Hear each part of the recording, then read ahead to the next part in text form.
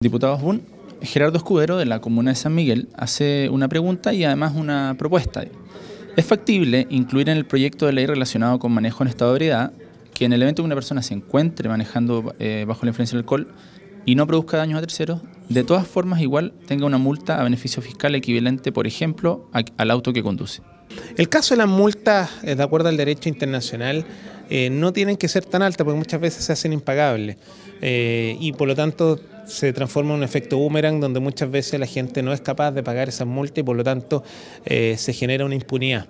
Lo que corresponde en estos casos es que sean multas eh, o, eh, sanciones que vayan afectando directamente a la persona, como en este caso es la suspensión de la licencia a conducir, que en el caso de los conductores de estado de ebriedad, si es por primera vez sin causar daño, son dos años de suspensión de licencia.